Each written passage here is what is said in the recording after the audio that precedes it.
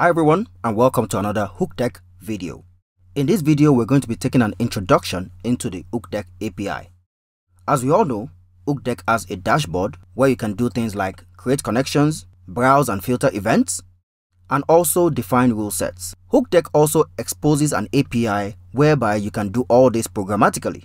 So, you can trigger actions to create connections or fetch connections from CI/CD processes or within your code.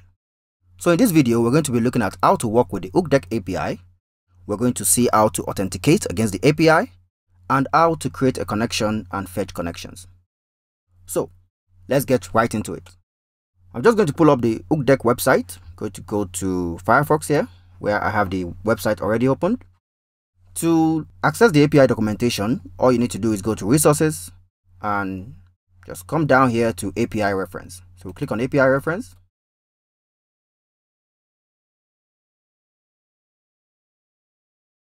And as you can see, we get taken to the page where we have the Hookdeck RESTful API.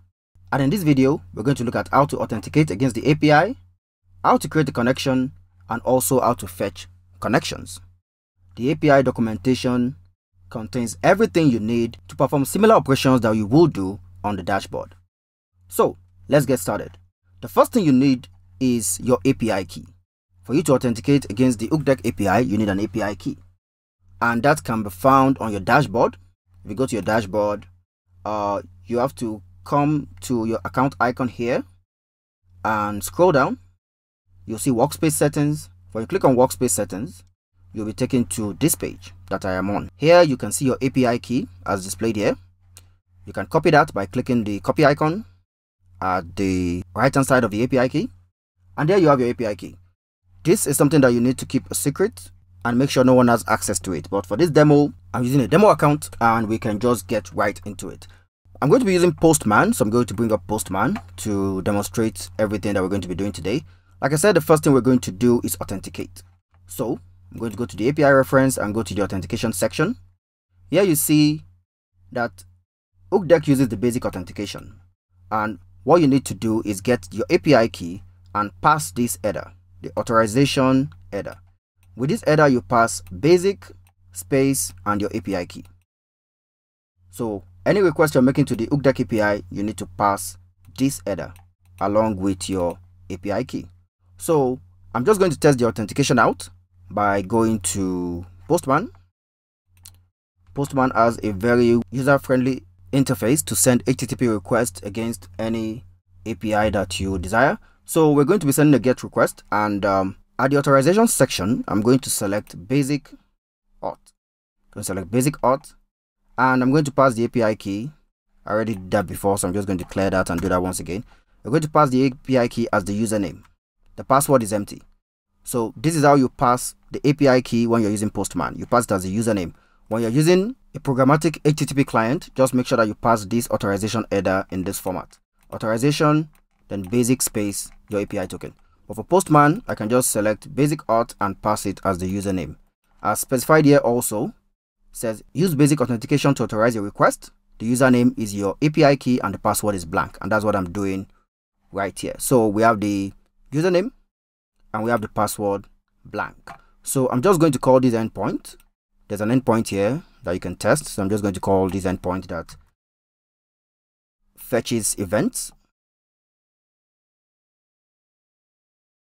enter it into the URL field here, get request, and I'm just going to click send. As you can see, I have data returned. I don't have any events currently, so just returned an empty array. But this already indicates that we have the API working, so that's good. The next thing we're going to do is create a connection. We're going to create a new connection. So I'm just going to go to, um, on the left hand side here, I'm going to click on webhook connections there we can do that from here but i'm just going to go here so as to show you that you can always come here when you want to work with connections you want to work with sources destinations rule sets. You find the documentation for each and every one of these operations here.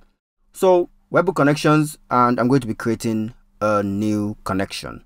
So to create a new connection I'm just going to click this link create a webhook connection click on that.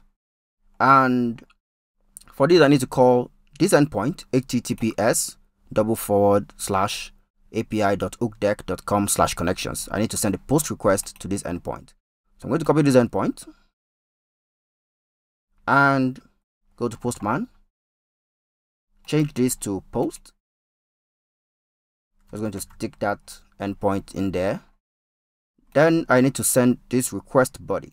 I need to send this request body that contains this a source object and a destination object. So I'm just going to copy this. Go back to Postman. Now ensure that these authorization parameters are still there. They are needed for every single request you make to, against the API. Else you will get an unauthorized error. So I'm just going to go to the body section of Postman and click on raw. Once you use a raw JSON, I'm going to change the format from text to application JSON and just paste this in here. Source, Shopify, alias is Shopify, my destination, the label, the alias, and the endpoint for my destination. That's my backend API. So this URL in the destination object is going to be the endpoint for your backend API. Now, I realized when I was trying to do this, I'm just going to fire this once and see what happens. So I'm getting an error here. Alias is required. I got this error when I was um, checking out the API and I realized that you need to add an alias at the top of this object. You have to add an alias as one of the root properties. So I'm just going to set that. I'm going to create an a connection rather for Twilio. So I'm just going to write Twilio. Twilio. So I'm going to go with Twilio. My alias. My label will also be Twilio. And an alias will be Twilio. Once again. So I think I'll just change this to Twilio lowercase 2. Make it alias be the same. Uh, for my destination label, just going to call that my endpoint. The alias my endpoint also. And I'm just going to put a dummy URL here. Let's say something like my site.com forward slash webhook endpoint. Okay, webhook endpoint.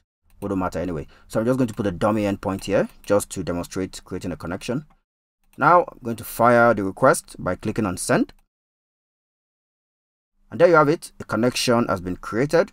To pull it, pull this up. As you can see, details of the connection are, are being displayed down here in the request body. We have the ID. We have the alias, which is Twilio. Scroll down here, we see details about the destination. We have our URL, our label, my endpoint, my endpoint alias. We have the source also, which indicates that it is a Twilio webhook. When we scroll down, we see the default values for the rule set. I didn't specify anything for the rule set, so it just picks on the default value. And there we have our connection. We have successfully created a new connection on our Hookdeck account. The next thing we're going to do is fetch connections. We're going to fetch connections. So let's see how to do that. Retrieve all webhook connections. I click that. That requires a GET request to this endpoint. It's the same endpoint as the one we just used, but now we're firing a GET request against it. So I'm just going to go back to Postman, switch this to GET, and yeah, the body is cleared, so I don't I don't have to worry about the body. So I just switch this to GET. My authentication or my authorization parameters are still set and fire the request. And with this, I have the request response. Let's see if I can pull this up once again. Not sure, okay. But here, as you can see, we have a count of four, meaning I have four connections. And inside this models array, you can see each connection object. You can collapse each one of them so that you can see that there are four of them. So we have four connections in this array. Right, expand the first one that's the Twilio, the one we just created. So I think this is ordered based on the time it was created. The second connection was for Stripe. I created that earlier. And I also have connections for Shopify. I think it's Shopify. Yeah, Shopify. This for Shopify. And um, I have another one down here. I think this is also Shopify. Yeah, Shopify. So I have four connections and if I go to the dashboard and click on connections, as you can see, we have the Twilio connection we have the Stripe connection, we have the Shopify 2 and Shopify 1. I created this once earlier, two Shopify connections, one Stripe connection and one Twilio connection.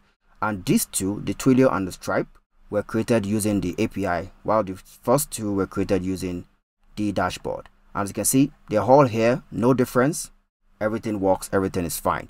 So in this video, we've been able to demonstrate how to use the Hookdeck API to perform operations within your Hookdeck account, similar operations that you could have performed using the dashboard. And if you come to the documentation here, like I said, you can see how to work with sources. You can retrieve all your sources. You can create a new source. The same with destinations. You can also configure rule sets. You can do this within your code on the fly to adapt to very peculiar situations. And the fact that you can do this programmatically opens up a lot more opportunities for using Hookdeck within your applications. So I encourage you to try out some of these endpoints and how they operate and get familiar with the API. That's all in this video. If you have found this video useful, I encourage you to hit the like button and also subscribe to the channel to get more videos on how to get the best out of Hookdeck and how to use the tool the right way. Thank you and see you next time.